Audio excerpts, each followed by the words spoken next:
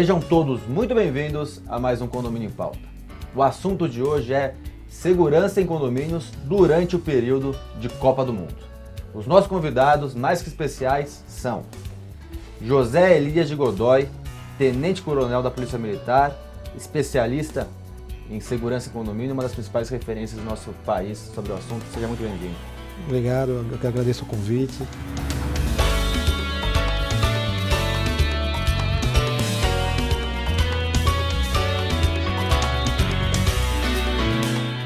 E Rubens Pereira, um síndico profissional de sucesso aqui no estado de São Paulo. Seja muito bem-vindo. Obrigado, obrigado pela oportunidade.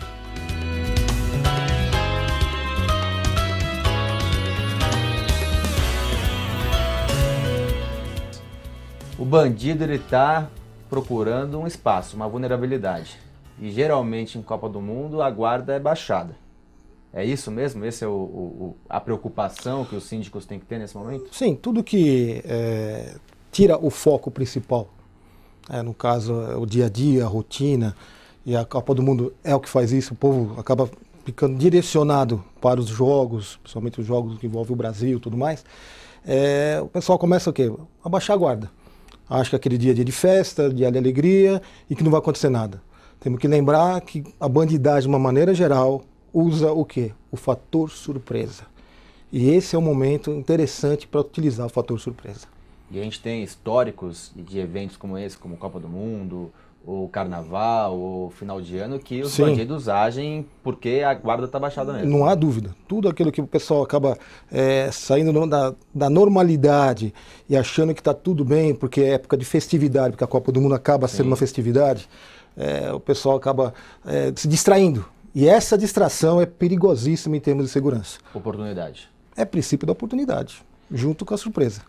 Rubens, você como síndico de diversos condomínios, está preocupado? Copa do Muito Mundo vai começar daqui uma semana. Na verdade, todos esses eventos que, que acontecem sazonalmente, né, como fim de ano, Natal, Ano Novo, Carnaval, e que causam essa aglomeração de pessoas, causam preocupação para a gente no condomínio. Você tem problema com a portaria, problema com os próprios porteiros, né? Ah, essa, esse trânsito de pessoas saindo e entrando do condomínio. Então, para a portaria é um, é um momento muito difícil. Deixa eu, antes de você falar dos porteiros, de portaria, eu queria que você falasse de uma coisa importante. Os condôminos e principalmente os conselheiros.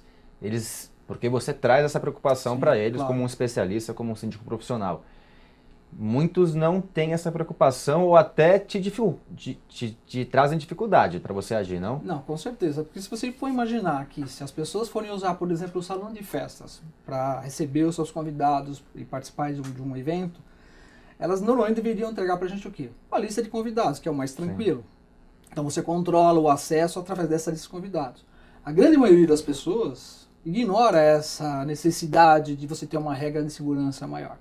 E parece que quanto maior a, o nível econômico, menor é, a, menor é a, essa percepção de que precisa mais segurança. E nesses momentos, como final de ano ou como Copa do Mundo, você percebe que a dificuldade é maior do que do dia a dia? Como Com assim, certeza. mas relaxa, a gente está na Copa, alguma coisa nesse sentido? Você percebe isso? Não, como é, não é fato. O que eu disse a você, nesses momentos de estacionalidade, de, de eventos, e a Copa do Mundo é um deles que vem a cada quatro anos, que o número de pessoas é maior nos condomínios, você percebe que diminui mais, o pessoal pede um pouco mais que você é, seja mais complacente com, a, com essa com essa, não, não, deixa passar, não, é meu convidado tal. E você tem aquele problema, tá? Inclusive conversando antes da gravação, a questão da, da de fumar fora do condomínio, já que é proibido Sim. fumar dentro do condomínio.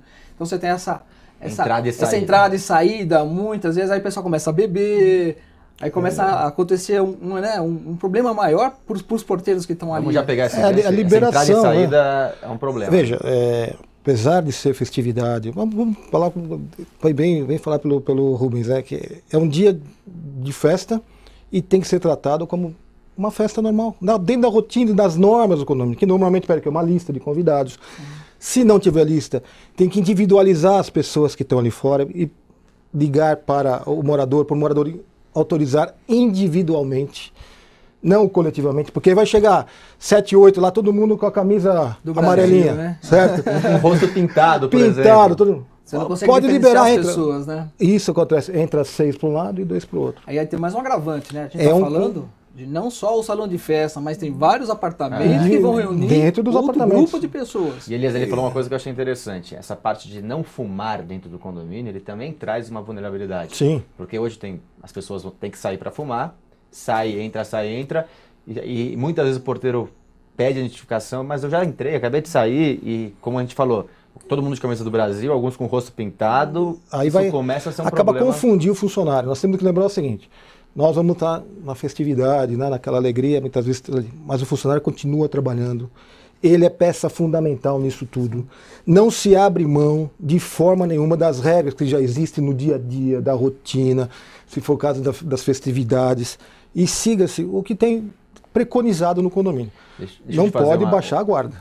Exatamente, tem que seguir as regras. Mas deixa eu fazer uma pergunta importante. Nesse caso do fumante, ou de um volume maior de fumantes entrada e saída, como que o porteiro deve se portar para não cometer um, um- possível erro, ainda mais todo mundo fantasiado na festa, para não deixar entrar uma pessoa que que está sendo oportunista naquele momento? Veja, o correto seria o quê? A pessoa saiu, ao retornar, muitas vezes, quando, dependendo do tamanho do condomínio, não vai saber quem é quem. Identifica novamente, Novamente. e liga novamente para o morador. Processo Se tiver a lista, verifique se está na lista. É, não- tem que ser sequencial e não achar que, poxa, entrou, saiu, tá com. Nada disso. Porque vai acabar tendo, nós vamos ter surpresas se o pessoal não seguir o básico. Isso não está fugindo de nada da normalidade. Nós estamos seguindo uma, uma normalidade, uma rotina que já existe nos condomínios. É que o pessoal pensa que é um dia de festa, de, festa, de alegria, e vai estar todo mundo junto, que pode ficar tranquilo. E não é assim. Então, você acredita que talvez seja mais correto fazer uma conscientização dos moradores, um comunicado prévio, já Sim. para alertar como que, que os procedimentos vão ser cumpridos e que a guarda não deve ser baixada? por De exemplo? forma nenhuma. A guarda não se baixa. E é importante que eles, tenham, se tiver algum mídia digital, colocar nos elevadores, né, através da mídia digital, ou mandar informativos, porque o morador possa estar ciente e consciente que não vai ter diferença no tratamento. Sim. O Rubens deve con- concordar com isso. Porque é, é um, para a segurança, a segurança é 24 horas nos 365 dias do ano. Sim. Então, importa, está acontecendo um evento diferente, mas continua a rotina de segurança. O bandido ele não tem horário comercial, segunda a sexta, é pelo contrário. Ele começa, normalmente ele vai nos horários que a guarda está baixada. Onde é a maior vulnerabilidade. Ele percebe, porque ele vai identificando as vulnerabilidades. Normalmente vão em condomínios que tem um movimento muito grande na, na- na portaria, que é onde facilita, facilita entrar pelo vácuo. Aí ele, ele é o camaleão, né? Ele se é, junta no meio do povo que está entrando, é, esse caso de entrar no vácuo, tá lá todo mundo de uniforme, pintado, passa. Tem oito. Deixa os oito Deixa entrar. entrar. Só que dos oito, sete é convidado e um é o bandido. Não, E aí um começa a falar com o outro, porque é fácil, o cara tá com a camisa do Brasil, fala com o outro, o cara já tomou uma cerveja. Mas é mais difícil ainda, porque se você for pensar que existem várias pessoas dentro do prédio, em apartamentos e no salão de festa, essas pessoas podem se cruzar em algum momento lá fora. Sim. Sim. Né? E como é que você vai identificar se é do seu apartamento, se é do Tá do apartamento outro? dele, Não ou se está na, na festa lá Não embaixo? tem como. E aí vai mais dentro da, da- da pergunta da conscientização, lembrando que, que nós temos que colaborar com o funcionário que está ali. A pessoa, ele vai estar numa situação delicada, porque se por acaso houver uma falha, um furto num apartamento que seja, ele será o responsabilizado diretamente. Como é que você deixou entrar? Sendo que nós, né, como condôminos, como síndicos, né, os moradores do, do- do prédio, temos que estar ajudando Normalmente nisso os tudo. moradores que trazem a vulnerabilidade. né? Justamente, Que porque acha que aquilo, pô, aqui é dia de alegria, de festa, e esquece que quem está executando o trabalho precisa de um respaldo muito forte, principalmente nesse momento. E o síndico chato, né? Tô brincando, porque muitas vezes é assim que o Mas condomínio fala, né? o síndico é chato. O síndico chato, tô brin... é, Rubens, o que, que vai fazer nessa semana que, que já pensa em, algum, em alguma coisa de Bom, aquilo que a gente já conscientização? conversando, eu já vou também fazer os avisos, eu já tenho já um esquema já montado para avisar as pessoas desse, desse cuidado especial. E pegando um pouquinho do que ele tinha falado, o grande problema é que o, o, o meliante que está querendo entrar no apartamento, no prédio, ele não vai. Ele aproveita aqueles momentos, mas ele normalmente já está estudando Sim. uma forma de entrar naquilo. E essas ocasiões são os momentos que eles esperam justamente para poder encontrar essas brechas, de, essas falhas na, na, na segurança. Eles estão em pré-temporada agora, né? Sim, Estão treinando estão- na grande Acomari Já deles. estão- É, já estão fazendo- Já estão se Analisando, vendo como é exatamente. que funciona, se a segurança do teu prédio é boa, se não é, se você tem um porteiro só, se é sempre o mesmo. Então, Às vezes com drones, né? Hoje tem até drone Até drones. fazer É, o que, o análise. que gente observa muito, que obviamente para um assalto, não é simplesmente que a camarada vai dar, como diz, dar a orelhada, não. Tem no mínimo um prévio levantamento para poder saber o que, que eu vou enfrentar lá na frente. E essa época do ano, né, dentro da sazonalidade, como foi falado, é o que favorece muito isso. Porque o camarada fala, pô, ele observa, o condomínio tem essa rotina, mas vai mudar a rotina dessa forma, é um porteiro só, um volume de gente, é o momento, é o momento. Deixa eu interromper aqui, eu tenho algumas perguntas para fazer para vocês. A primeira delas, e talvez que causa mais polêmica, é a televisão para os porteiros assistirem principalmente o Jogo do Brasil. E a segunda questão de, de segurança também da- do- da- das pessoas, né? Então, que, que moram dentro das unidades. Então, por exemplo, rojões, que são muito utilizados nessa época. Eu tenho esses dois temas, mais alguns para falar para vocês, mas queria antes chamar um quadro que chama Síndico de Sucesso, Olho na Tela.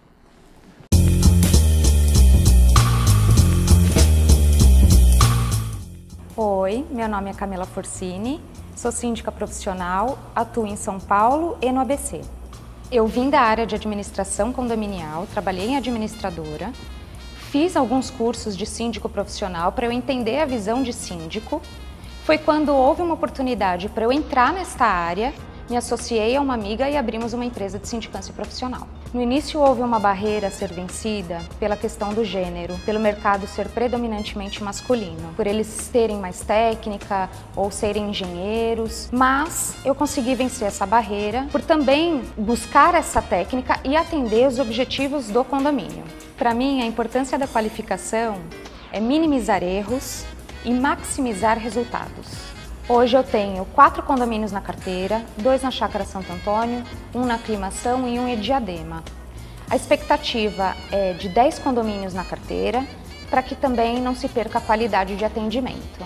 Dois pontos que me faz feliz na sindicância é que o primeiro é o resultado que a gente dá para os moradores em relação à parte operacional, que é a parte que eu trabalho na sociedade, e a segunda é a parte financeira. Para mim, um síndico bem-sucedido precisa ser bem relacionado.